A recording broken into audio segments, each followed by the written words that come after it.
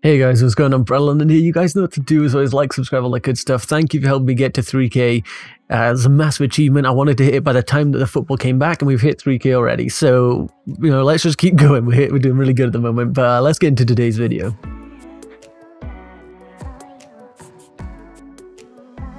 So I've just finished watching the RB Leipzig versus uh, Paderborn, I think it was playing. They were playing a game, and as you can see here, uh, it was 1-0 in the top right. It says RB Leipzig 1-0 uh, uh, against Paderborn, but the game ended 1-0, and Timo Werner did miss a couple of chances, but I'm not worried about it. Like, Twitter's going a bit mental. People saying like, you know, oh, this is the guy we're signing, eh? But anyone who actually knows what Timo Werner is about uh, will have no problems with that. Uh, they went down to 10 men basically, and Timo Werner was just stuck up front all on his own. So as you can see, RB Leipzig chief denies Chelsea agreement for Timo Werner, and people are losing their minds about this. Uh, RB Leipzig CEO Oliver Mintzlaff has denied widespread reports that Chelsea have agreed to sign Timo Werner this summer. Reports this week suggested that the Blues had triggered his 53.8 million release clause. By the way, I've also heard that it's about 49 million pounds, so it's somewhere between 54 million and 49 million, somewhere about there. And has agreed a five-year deal with 200,000 pounds a week with a 24-year-old. So that's what the videos that I've done previously are about. Timo Werner is going to, like, don't panic, guys. He is still going to be a Chelsea player. Uh, however, prior to this afternoon's match between Leipzig and Paderborn, Mintzlaff denied that there has been an official approach from Frank Lampard's side who's quoted saying, We haven't had an, an exchange with Chelsea yet, he told reporters. So far, Timo Werner has not drawn the clause, nor has a club sent a transfer contract. So people are going mental. And basically, this situation is he's not lying. Chelsea have not like made any exchange. He said we haven't had any exchange. That is true. We have not been in contact with the club. He said so far Timo has not drawn the clause, nor has any club sent a transfer contract, which is true if you read the reports that are coming out, it's that we've met with Timo Werner, we've met with him, his agent, his family. Um, Man, Man City have been involved, like I'll get to in a bit. Liverpool have been involved. Uh, I think Man United were involved, but he didn't want to go to uh, City. He didn't want to go to Man United. Liverpool, we know that he wanted, but he would have to wait another year to go there. Klopp has basically been told, you can't have him this year, you'd have to wait a year. So we are signing Timo Werner. Um, we have made an agreement with Timo Werner himself to make the deal happen. Obviously, we don't have to worry about oh, are Leipzig gonna you know agree to the deal or not. No, we have we've basically told uh, Timo Werner and his representatives that we will meet the transfer clause in full, which means you know no installments, no nothing. We'll pay the exact whether it's 53.8 million as this report claims or 49 million, whatever it is. We'll pay that in full in cash, and uh, and then the the issue was then okay, so he's got a release clause. They have to accept it if we pay the money, which we will. Um, we need to convince Timo Werner to come to us. And that's why Frank Lampard has been on the phone with him. That's why Frank and Petr Cech went out in February to um, have a chat with Timo Werner, and we've convinced him. So he is going to be joining us. People are going mental saying, oh, their CEO said it's not happening, it's not happening. Because their club has not spoke to Chelsea yet. And they can't say, no, we're not doing this deal because it's in the contract, they have to accept. So we don't have to get in contact with them until uh, we are ready to make the deal officially happen. Uh, a lot of reports coming out saying that we were going to be announcing or like having the deal complete early next week. So I'm thinking Monday or Tuesday, Wednesday. Um, we will be hearing some more details about okay, Chelsea have officially put their bid in, Leipzig have accepted. We've gone through the contract with Timo Werner, so we'll just be putting all that to, you know, be signed. We've agreed on all the details, the wage, the bonuses, all that sort of stuff. So it's just a case of us putting the contract in front of him. He's going to check over and say, yep, okay, everything we said is in there. Sign the dotted line, and Timo Werner will be a Chelsea player, at least next season. So do not panic, guys, about this. This article is true. Like, everyone's going to be clickbaiting it to hell because you know, the worry of like, oh my god, Timo Werner isn't joining Chelsea, what the hell? But he is joining Chelsea. We just haven't approached their club yet. That is the situation, which is normal. So do not panic. And I mentioned something about Man City being involved, and it says, update, Timo Werner. Man City was also at the negotiating table, but Chelsea got the yes from Timo Werner. Frank Lampard convinced the striker that Werner would be uh, become an important player in his team. So that shows a lot, you know, that Chelsea have got the pulling power through Frank Lampard to be able to see Man City going in for him, and he says, nah, no thanks, Man City. Liverpool, I'd have to wait a year. Nah, not up for it. Man United, yeah, jog on. And Chelsea are the ones that he's like, you know what, yeah, I believe in the project. I believe, we apparently there's a very definitive and structured three-year plan going on at Chelsea to get back on top and be, you know, Premier League champions. And I buy into it. I think the next three years we are definitely going to be right up there again. So I don't think that Man City ever really had a chance. You know, he'd be competing with Aguero, who is getting older. Um, Gabriel Jesus, who is probably the future striker for Manchester City. And I think he just sees here that, you know, like he he thinks he can nail on either that left wing role or that striker or whatever we've told him that we're going to play him at. And I'm very excited for this.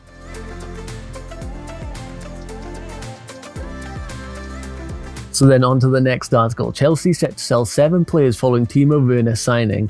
And this, if you, if you buy into like the, a lot of people think that, you know, there's a lot of players at our club that we don't need to get rid of, that we should maybe try keep him Willian, we should maybe try keep him like Pedro maybe, we should maybe keep a hold of Ross Barkley. I personally think the players I want to see go are Bakayoko, Drinkwater, Ross Barkley, Willian, Pedro, um, I'm probably missing a couple in, or Emerson or Alonso. I'd probably say Emerson to leave. Um, I think that's it. But if we scroll into this article, seven players are likely to be leaving. And down here you can see Pedro, Willian, Jorginho is likely to leave. Marcos Alonso, Kurt Zouma, Ross Barkley, and Michy Batshuayi will all leave Chelsea in the summer. So let's go through that. You know, Pedro and Willian, I think we knew that. The wingers, they're getting old. We're looking to get rid of them.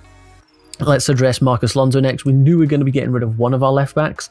Um, I'm surprised it's Marcos Alonso because my just my thoughts are Emerson. You know, if we're signing Ben Chilwell or Tagliafico, they are the more defensive left backs. And it'd be good to have Marcos Alonso to build, you know, if we do have to switch to a more offensive system. Marcos Alonso is great for a goal. We've seen that towards the end of the season as we've currently played. So I'm a bit surprised to see that Marcos Alonso is going, especially given that Juventus are very, very keen on getting Emerson. Kurt Zouma, We've seen reports of this. It could be to Spurs. That is one of the um, teams that are after him, supposedly. And I'm not too surprised by it. I do wonder who we're going to bring in, though, because we've got, you know, a team, uh, Timo, uh, Fikayo Tomori, uh, Christensen, Ethan Ampadu is certainly coming back, uh, and Rudiger. So you know, are we just going to be sticking with those four? Are we looking to sign someone that's up there? Of course, um, Upamecano was a target of Chelsea's, um, as we've seen in previous games. But in the RB Leipzig ga- game that has just happened, I've just finished watching, he got uh, two yellow cards resulting in a red card. And pretty, in general, had a pretty bad game. So I'm sure a lot of Chelsea fans were watching that game, and I've seen all over Twitter, their minds have changed. They do not want Upamecano now. People aren't too fussed on Koulibaly now. So who is, you know, the elite centre back that we're going to buy in? I'm not too sure. We know a lot about Gabriel Magalhaes. We've talked about him before. It's possible, but I think we could do a job with Tomori Christensen, Ampadu, and uh, Rudiger. It's not bad, but it's not, you know, compared to how our attack is going to look, it's not that level. And then you got Ross Barkley. I'm happy to see him leave. A lot of people want us to keep Ross, but I personally just think, yeah, he's a good squad player. But if you look at you know, as it stands, we would have Jorginho, Kovacic, Kante, Billy Gilmour, four players to go across, you know, two centre mid positions. I don't think we need Ross Barkley realistically, but if he's happy to stay and just collect a small wage, I say small wage like he isn't on stupid numbers compared to normal people, but collect, you know, a lesser wage and that's maybe not the worst thing in the world. Michy Batshuayi, we knew, uh, I'm pretty sure everyone knew was going to be going because he had an awful season. Uh, he had chances to get in ahead of time. He had chances to prove himself off the bench. He had chances to start, and he never really uh, did very well. He did score against, I think it was Man United. He scored that really nice goal where he just ran through, shot from distance, lovely goal, but was never really able to replicate it. So, not surprised Michy's going. Jorginho is an interesting one on the list. Apparently, you know, if he's going to be leaving Stamford Bridge according to this article, that is quite big news. Um, I don't think I want Jorginho to leave, but it depends who we're bringing in. You know, if we're getting rid of Jorginho, um, Kurt Zouma, you know, these are players that'll go for a little bit more. Marcos Alonso will probably fetch a decent fee. Barkley, not so much. And Batshuayi, maybe not, given his recent form. This is all money because Chelsea are still interested in signing Kai Havertz and Jadon Sancho, not both, one of the two. So, you know, all this money adds up, and if that makes it easiest for to sign uh, Jadon Sancho or something, then that is fine by me because none of these players I'd say are, you know, guaranteed players that we need. Uh, Jorginho's one that I think has, you know, changed games for us, so it might be a dodgy one to lose him. Kurt Zouma's the same. I think he has got that physical dominating centre back thing, it, like sort of need that uh, Chelsea need, but there's also times where he's a bit silly and makes mistakes. So if we sell Jorginho and Kurt Zouma, I would expect to see maybe another centre back and a centre mid brought in, maybe, maybe a centre mid. But I mean, if we're playing maybe like Hakim Ziyech at centre mid, then that does make room for Sancho to go there. So there's options. I'm glad that we're still looking at Sancho, and with all these players leaving, maybe that opens up a lot of wage bill and some transfer money, you know, for selling them all.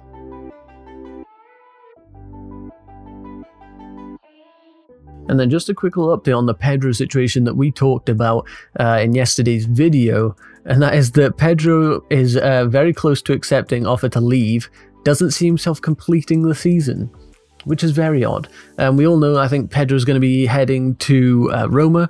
Uh, he is looking for a minimum of two years. I think he'll probably get that with maybe an extension to uh, three years. So I think that'll happen.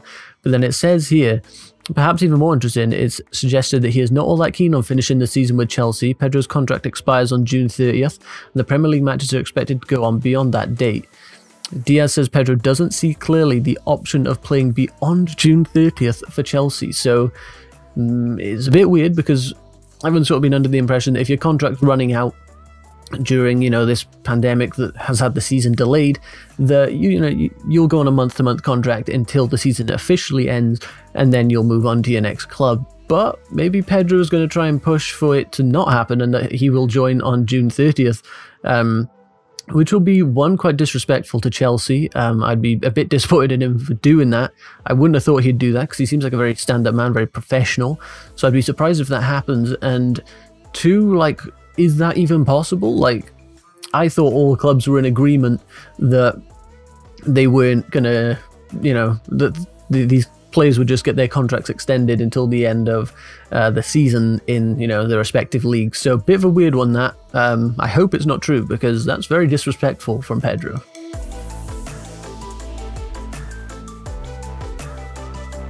And then something just a little bit crazy that I wanted to uh, mention at the end of the video. Liverpool offered much higher wage to Timo Werner than Chelsea and were willing to pay the fee. So apparently Liverpool had uh, offered to activate Timo Werner's release clause in principle after agreeing a contract with the player. Liverpool's uh, contract offer to Timo was 50000 a week uh, more than the one he has agreed with Chelsea, um, according to this transfer expert. Werner has agreed that a five-year deal with Chelsea, um, which is about forty-five million pounds.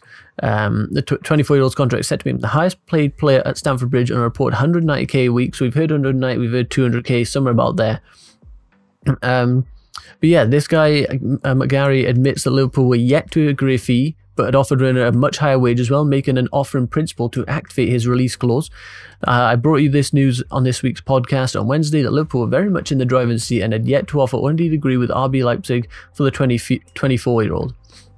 Since then, Chelsea have taken advantage of their inertia in moving to secure the player, despite having worked hard, and Jurgen Klopp in particular working very hard to convince him. Like we all know that he was on the phone to him, and offered the player about fifty thousand pound a week more than the current offer he has from Chelsea, as well as an offer to meet in principle RB Leipzig's rescission clause for the player, which stands at 60 million euros. This is a classic example of a blindside move in the transfer market. So apparently, we, you know, there was a deal on the table for him to go to Liverpool, and we have just completely come in and hijacked it and said, look, we'll pay now, we'll give you this contract, we'll give you this, we'll give you that, we'll make sure you're an important player. And apparently, he's just accepted that. He says it is expected that Liverpool will go back in for Werner in a late attempt to steal him from under the nose of Chelsea. So we do have to be cautious about this, guys. It's possible that we see Liverpool come back in for it, but they have until early uh, next week to get it done, basically, because I think we're waiting on him to have a medical and then it's pretty much officially signed. So I don't think Liverpool will be able to get in. If they do, it's to be a bit of a crazy few days. Um, but I don't think they will. I'm pretty confident we've got a guy. I'm like 90, 95% sure that we've got him. But that's the end of the video, guys. If you did enjoy, be sure to leave a like, subscribe, all that good stuff. If you have any questions or anything like that that you want to ask me, make sure you leave them down in the comment section down below, and I might answer them in tomorrow's video. Thank you for watching, guys, and I'll see you in the next one. Goodbye.